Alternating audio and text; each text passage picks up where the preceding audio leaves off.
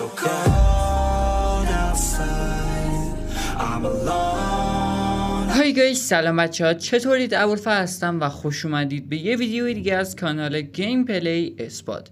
بچه ها تو این ویدیو قراره با همدیگه بریم یه نگاه کلی به لباس فرعون لول هفت و زنش بندازیم. زنش هم همینطور که می‌دونید به صورت X-Suit میاد و واقعا خیلی خفنه. قبل از اینکه بریم سراغ ویدیو خوشحال میشم این ویدیو لایک کنید به channel من.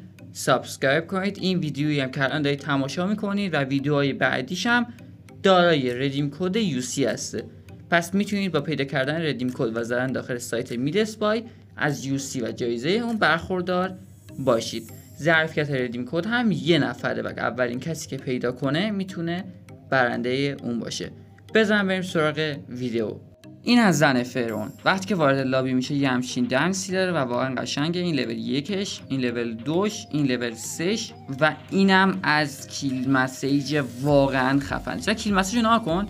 ذوق می‌کنی. وقتی هم که وارد لابی میشه این شکلی میشه و اینم از فاینال فرم قشنگ. کله خود فرعون قرمز میشه و واقعا خیلی خفن من که خودم به شخص خیلی از این قابلیت خوشم اومد. چون که قشنگ وقتی که یکی رو بکشین باهاش خیلی حس جالبی میده. من خودم واقعا خیلی دوست دارم این قابلیتش رو وقتی که یکی بکشید قرمز بشه اما می‌تونه یکم رو مخ باشه. وقتی هم که زن فرعون وارد لابیتون بشه یه همچین دنس ورودی داره خفنه ولی به سیلوانوس نمی‌رسه. سیلوانوس واقعا خیلی خفنه دنس ورودیش.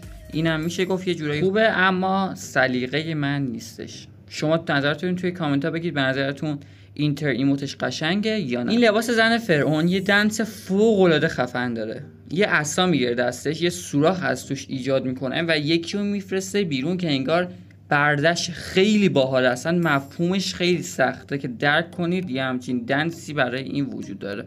این بود از کل زن فرعون و خود فرعون لول هفت.